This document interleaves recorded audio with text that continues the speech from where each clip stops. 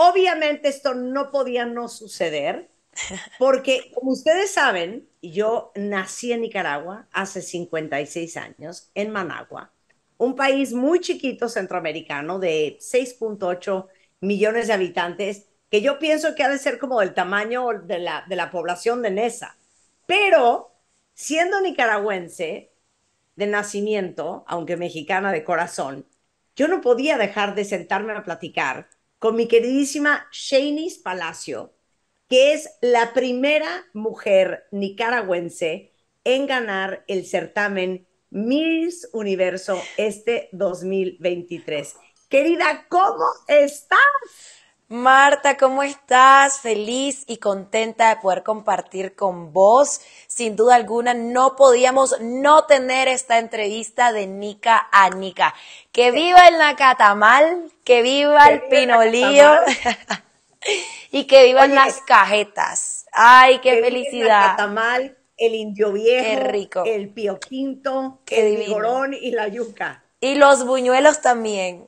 100%. Oye, eh, hablaba con familia mía que está en Nicaragua y me decían, es que tú no tienes una idea lo vueltos locos que está el país entero eh, con la corona de Shanice. El hecho de que, pues en un país con una situación muy complicada, se siente una unión que no se había sentido hace muchos años. Esto realmente fue un hecho histórico del cual me siento muy feliz. Todavía no termino de procesar, ya estoy creo que como en un 80% de, proceso, pero todavía me falta ese 20%.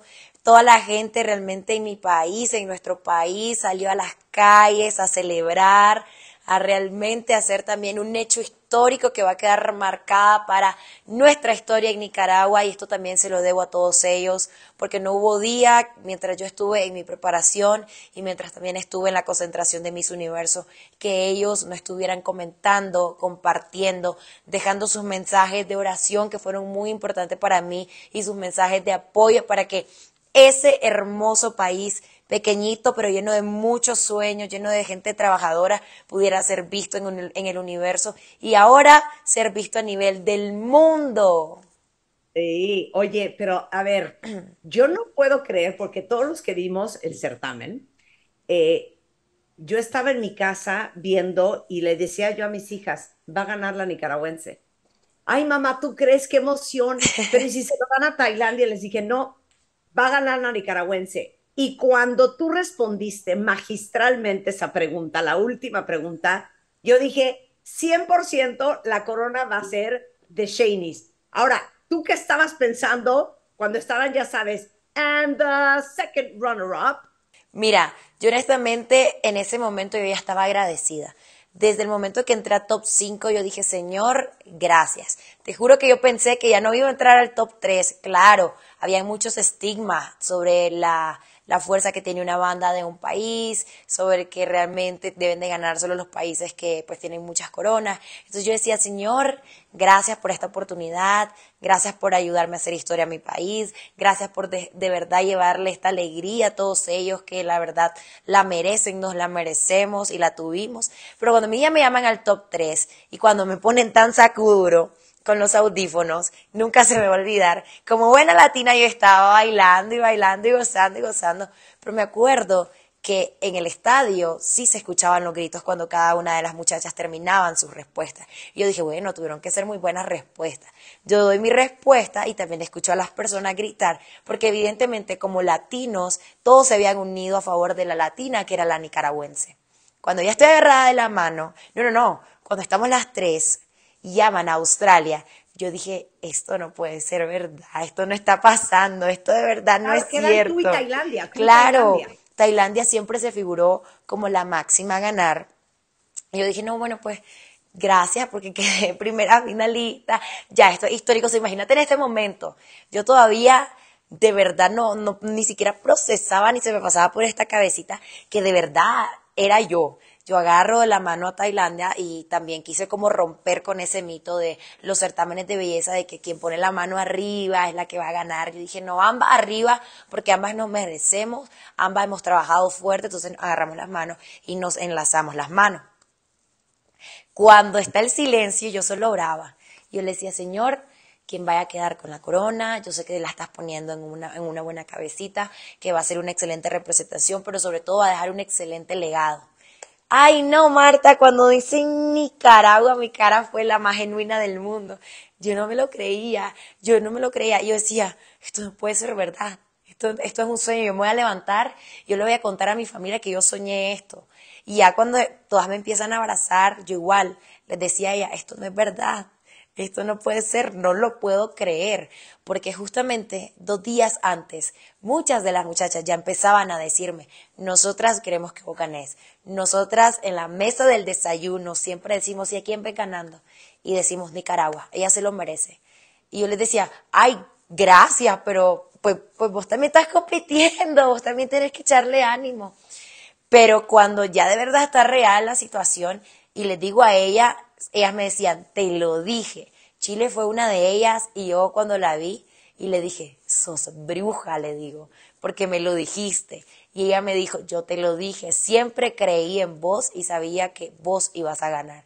Fue un momento en donde pasaron demasiadas cosas, hay cosas que no me acuerdo que sucedieron, evidentemente porque fue un impacto muy fuerte para mí Solo me acuerdo cuando ya estaba tomándome fotos con parte de la organización, con el equipo de MUBA, y cuando después estaba hablando con mi familia ya en el, en el carro que iba de camino ya al hotel.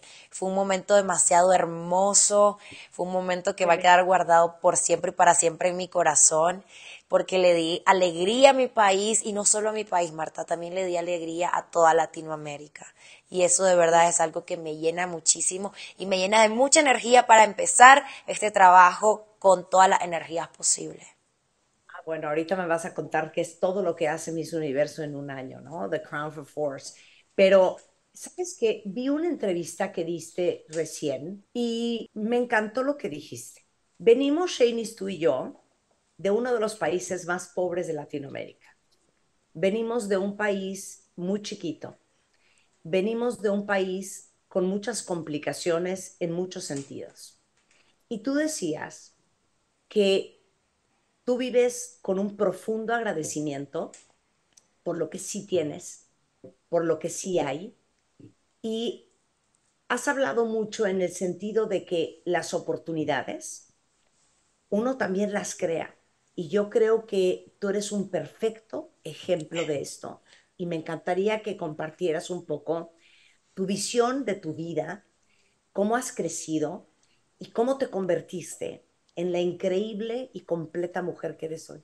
Mil gracias, mil gracias por, por tan hermosas palabras y ahora estoy cada vez más convencida que esa es mi misión como mis universo, pero también la misión que me dio Dios, porque cada uno de nosotros venimos con una misión y con un propósito y siento que el mío es justamente esto, dejar la experiencia de la historia de mi vida como ejemplo claro para todas las personas, para todas las mujeres, para todas las niñas, que como muy bien lo mencionabas vos, las oportunidades también las creamos nosotras mismas, porque es que nosotras somos las dueñas y escritoras de nuestro libro de vida. Y si queremos escribir nuestro futuro, tenemos que también luchar por ese futuro. Todo aquello que se escribe también con dedicación, con determinación, con perseverancia y pasión, se puede llegar a cumplir, se llega a hacer realidad, porque soy el mero claro ejemplo de eso. Pues soy una persona, una mujer que fue criada por dos madres solteras, mi mamá que me tuvo a los 19 años y mi mamita, mi abuelita materna que tuvo mi mamá a los 17 años, súper joven. Y yo, el primer ciclo generacional que decidí romper fue justamente eso, no ser mamá joven y empezar a luchar por mi sueño, no quedarme en modo sobrevivencia, en no quedarme en ya terminé la secundaria y ya voy a empezar a trabajar. No, a pesar de tener limitantes económicas, no soy la única que las vive, las vivió, sino que muchas personas en Latinoamérica también las experimentan, pero eso para mí fue el trampolín que me llenó de fuerza para luchar por mis sueños. Yo también fui becada toda mi secundaria porque mi mamá se quedó sin trabajo cuando tenía 15 años de edad y gracias a ello yo contaba con una beca escolar por la cual terminé mis estudios en las secundarias. Posteriormente teníamos que pagar los costos de la universidad, pero mi mamá no tenía el suficiente ingreso, solo tenía la venta de los buñuelos, de la cual pues se lograba conseguir el, alimento, ¿me entendés? Que yo siempre estoy agradecida por eso, porque nunca el pan le hizo falta en la casa, en la mesa, y siempre agradecimos, agradecimos esos tres tiempos de comidas que tuvimos, que con mucha honra, con mucha dignidad y con muchísimo orgullo lo digo. Gracias a Dios, la universidad donde fui egresada, me dio una beca de 100% de araceles, en donde yo decidí también mantener esa beca, porque es una decisión diaria, el romper también con el que no voy a terminar, ay, bueno, no tengo las posibilidades, al contrario, yo me desvelaba, yo caminaba bajo la lluvia en las temporadas de invierno para poder regresar a mi casa, habían días en donde no tenía para regresar a mi hogar, habían personas que me ayudaban para regresar. Es una experiencia muy fuerte y lloro de emoción, lloro de alegría porque lo logré.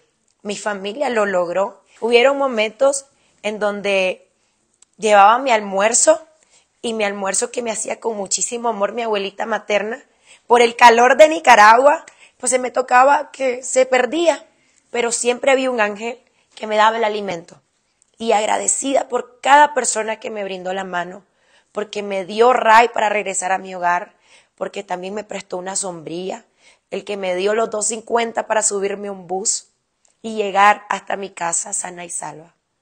Hoy en día puedo decir de que soy la vocera de todas esas niñas, de todas esas mujeres que también están atravesando este proceso, proceso de transformación, porque así como una mariposa en un momento fue una oruga, llega ese momento de la metamorfosis, que se convierte en una hermosa mariposa que alza sus alas para también viajar durante el mundo y el universo. Muchas gracias. Una historia que el universo entero merece escuchar, porque es una historia que a muchos latinos les toca vivir y que me siento orgullosa de haber vivido, porque me transformó y me preparó para ser la mujer que hoy en día soy.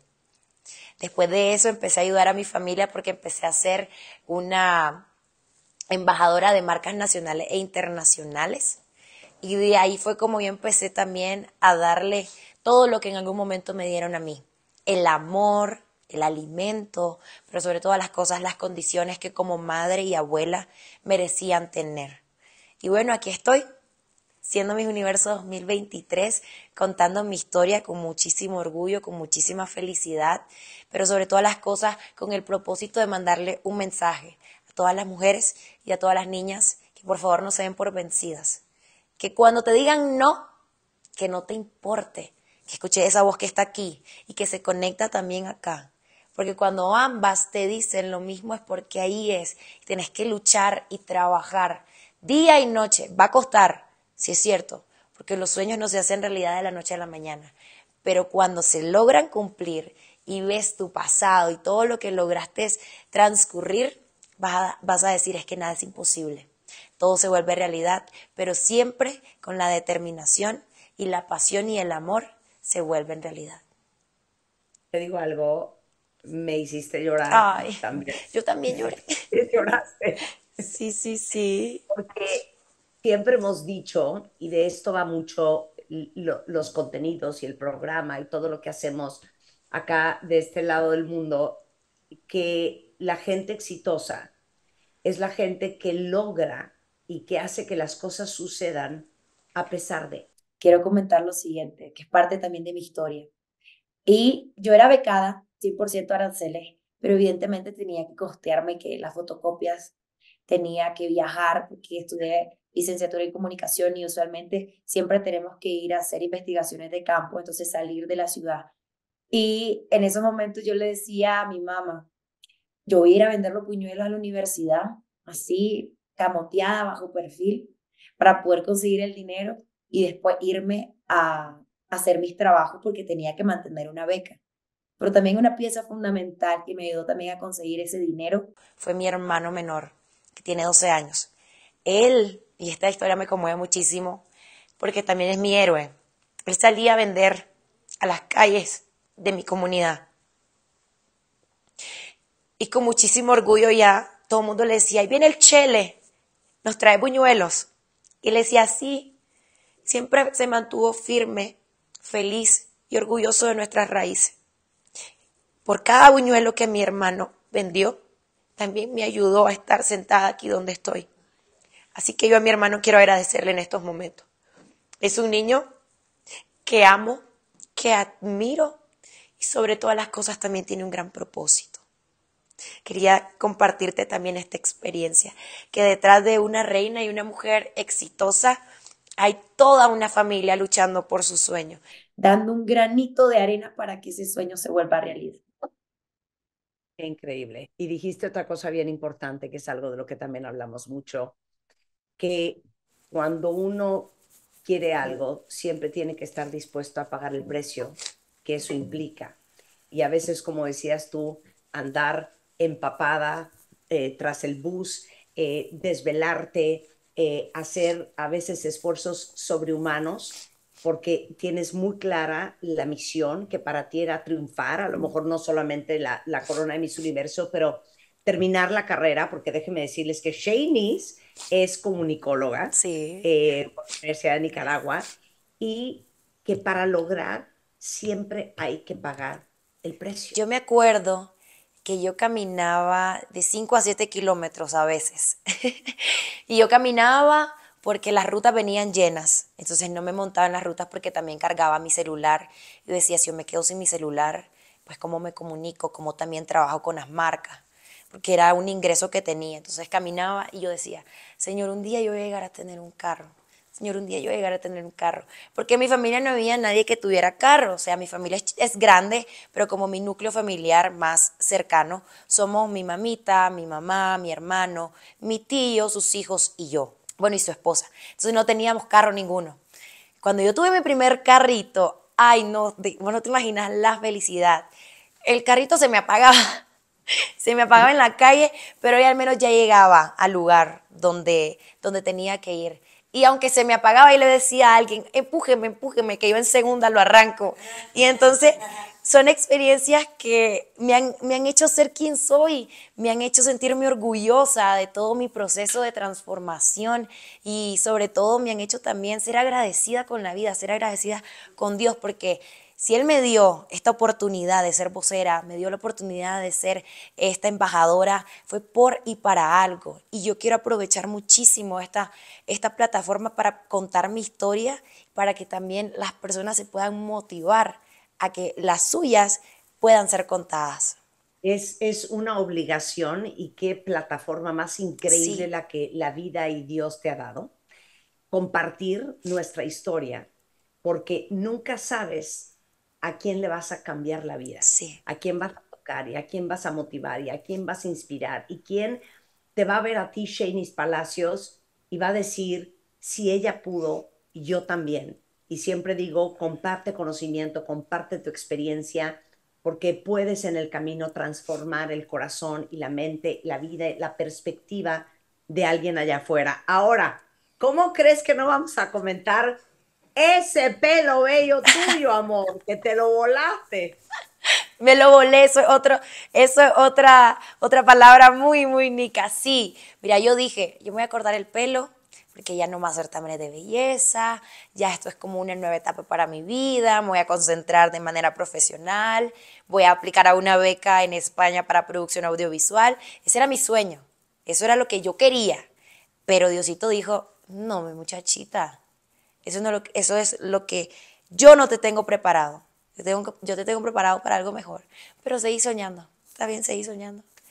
Cuando veo que Miss Universo va a ser en El Salvador, a mí se me enfocó una huillita aquí que dije yo, yo tengo que entrar a Miss Nicaragua pero dije, ah, la voy a entrar con el cabello corto y está todavía, estaba todavía eso de estereotipar que no, que la Miss tiene que usar siempre extensiones, que cabello corto no, que eso realmente no te hace una reina. Pero yo dije, ¿saben algo? Quiero ser diferente, quiero ser recordada como Oye, esa misma. Cuando yo vi el pelo, yo que tengo el pelo larguísimo, dije, ah, no, ya me lo voy a volar. ya, estaba yo, es que te digo algo, qué increíble otra, otra gran lección. La mejor decisión no siempre es la más popular. Y uno pensaría, ah, no, pues ahora me voy a llenar de cortinas, de extensiones para ir a Miss Universo con el pelo largo. Y tú dijiste, no, yo quiero ser diferente voy a ir con el pelo corto. Y yo creo que eso, aparte de que se te ve espectacular. Ay, gracias. Fue un gran diferenciador. Ay, sí, Cuando sí. te vimos con el pelito hasta el hombro, dije, qué espectacular se le ve. A mí me encanta mi cabello. Fue la mejor decisión que pude haber tomado, mantener el largo, porque yo pude perfectamente decir, no, voy a dejar que crezca y luego me lo voy a cortar para poder ingresar las extensiones y que no se vea como el corte recto. Pero yo, para la presentación oficial de Miss Nicaragua, yo dije, no, córtenlo más, que se vea más corto. Y me dijeron, ¿estás segura? Estoy segura, quiero que se vea corto ese pelo. Y evidentemente cuando vine ya a Miss Universo, yo dije, vuélvanlo a cortar, que yo me quiero llevar mi cabello corto. Número uno, porque estaba lista más rápido. Número dos, tenía más tiempo de dormir. Y número tres, era algo con el que la gente decía, ay, la nica que tiene el pelo corto. Entonces todo eso creo que también me ayudó. Y ahora también he visto a personas que se han cortado el cabello porque dicen, yo también quiero cortarme el cabello como Shanice. Una muchacha tailandesa me lo comentó estando allá en El Salvador y me dijo, yo me acabo de cortar el pelo por vos, porque me encanta Ah, cómo bueno. se te ve y yo quiero también tener esta nueva versión de mí. Yo dije, Oye, ¿qué ¿qué todo el mundo quién te lo cortó? Ay, bueno, me lo han cortado dos personas. La primera persona fue doña Marina, que es mamá de una Miss Nicaragua, Miss Nicaragua 2016. Y de ahí Fernando, que fue mi estilista durante todo mi proceso de preparación en Miss Nicaragua. Fernando, sí, él ha sido que me lo cortó y que tiene buena mano porque ya me volvió a crecer. Fernando, por si alguien quiere ir. Sí, Fernando en Nicaragua. Fernando es, sale como en sus plataformas allá para que vayan. Créanme que tiene muy buena mano. Ah, tiene muy buena mano. Oye, bueno, Nica, Nica, Nica, eh, nos reímos mucho porque cada vez que tengo un nicaragüense en el estudio, eh, hablamos de un lenguaje que solamente existe en, en Nicaragua y en- a lo mejor en algunas otras partes que solamente nosotros entendemos. Y entonces, cuando vino Hernaldo Zúñiga, cuando tuvimos a Luis Enrique, siempre, siempre hacemos el examen de ida y vuelta para ver si no hemos perdido el idioma y el acento.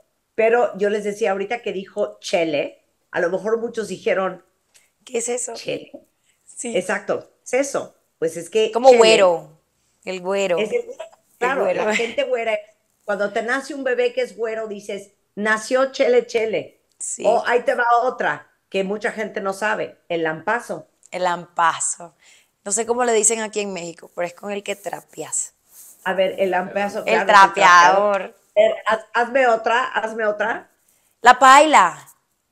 Ah, la paila, importantísimo, Que porque si tú vas a hacer gallo pinto, que es mi comida nicaragüense favorita, Shanice, Qué rico. hay que paila y ponerle aceite. La paila es el sartén. El sartén. entonces, el chihuín El chi- un chihuín es un niño. es un niño. Este, a ver, la chimbomba. Ay, sí, es el globo. Cuando inflan globos para las piñatas, para las fiestas. Exacto. Y te voy a dar una que ya hasta aprendió mi marido a usar y a veces me dice, ¿y por qué andas arrecha? Ay, arrecha, enojada. Exacto, muy enojada. Shanice, eh, dices tú, parte de mi misión es transmitir este mensaje de que imposible nada para las nuevas generaciones, para las mujeres que, que te escucharán a través de todo el mundo, porque esa es gran parte de la misión de Miss Universo durante su año entero de reinado. Cuéntanos qué haces el siguiente año, dónde vives, a dónde vas y cuál es el objetivo final. Bueno, te comento que me mudo oficialmente al apartamento de Miss Universo, el apartamento que queda en Nueva York. Posteriormente también voy a estar haciendo muchos viajes alrededor del mundo con el propósito de evidentemente dar un mensaje a nivel internacional. Y me he dado cuenta ahorita mismo, gracias a vos, que no tengo un mensaje para la sociedad, sino que tengo dos.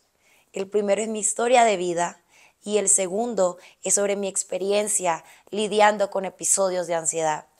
Yo decidí romper con el estigma de no hablar sobre la importancia de la salud mental.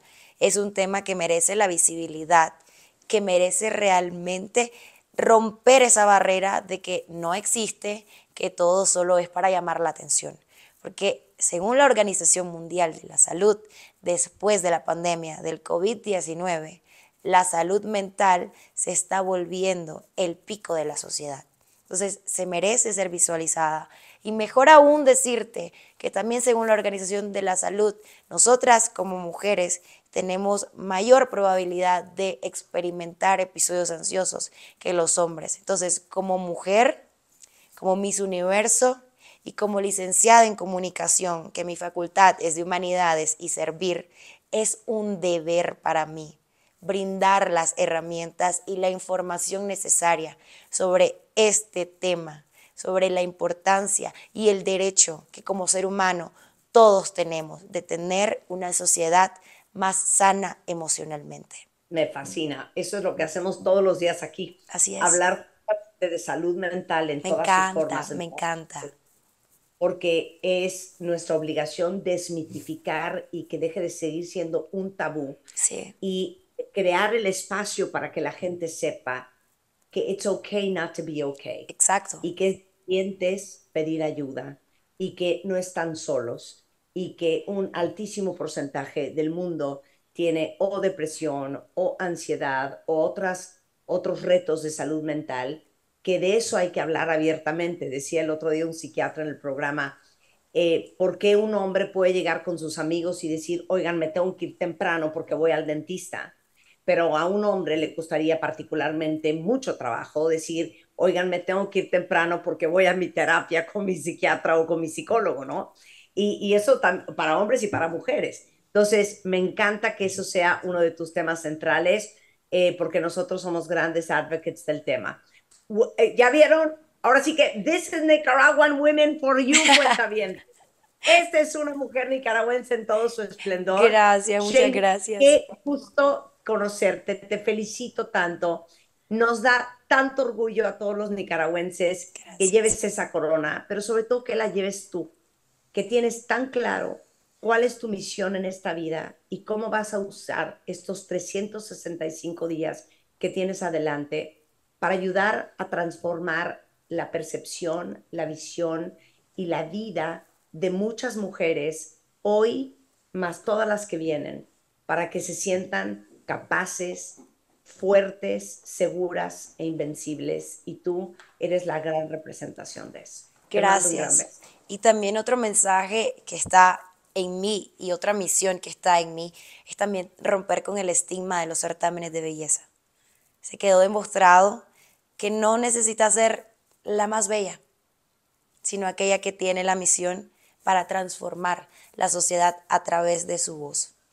Entonces realmente también decirles que los certámenes de belleza van más allá de la belleza física, porque pasa a un segundo plano la belleza interna e integral es la que predomina. Y es porque ahí está la esencia. Y como lo dije en mi respuesta, es la esencia del ser humano. 100%. Y aparte, ¿no leíste el poema de Margarita? Sí, a Margarita de baile.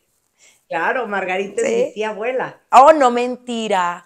Yo te quería preguntar, yo te quería preguntar, pero no, no, no lo quería hacer como aquí en, en vivo. Me puedes preguntar lo que tú quieras. Bueno, no, ya me lo acabaste de decir. Contame. Sí, sí. Es una historia lindísima porque la Margarita, ¿qué tal? La Margarita, solo Shanice y yo entendemos ese, ese lenguaje. La Margarita era hermana de mi abuelo y estaban en Casares, que es eh, para todos los demás eh, una playa en Nicaragua, en la casa de mis, de mis bisabuelos.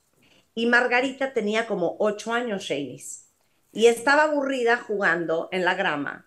Y ve a don Rubén Darío, que Dios lo tenga en su santa gloria, bolo, o sea, borracho, acostado en la hamaca. Y llega y se le para junto y le dice, don Rubén, cuénteme un cuento. Y Rubén Darío se voltea y le dice, Margarita, qué linda está la mar. Y de ahí viene ese poema. ¡Guau! Qué impresionante y qué honor para vos saber que el príncipe de las letras castellanas, este poeta nicaragüense reconocido no solo a nivel nicaragüense, sino a nivel internacional, porque también ha sido un escritor para el modernismo.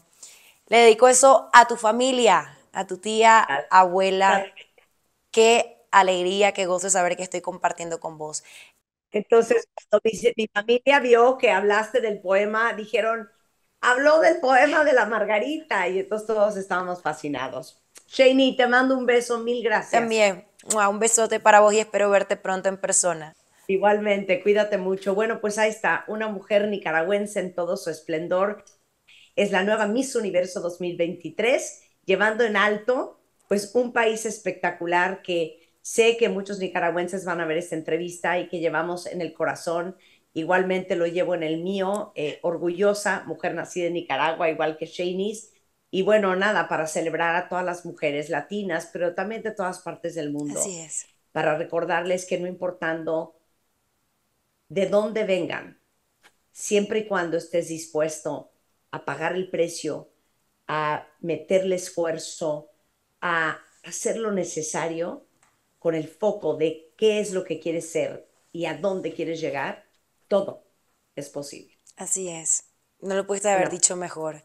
Nos vemos, un honor para mí haber compartido con vos este momento tan especial donde te abrí mi corazón. Gracias, de verdad. E inicia un año que espero y confío en Dios lleno de mucho éxito. Te mandamos beso, querida. besote. Bye bye. Bye.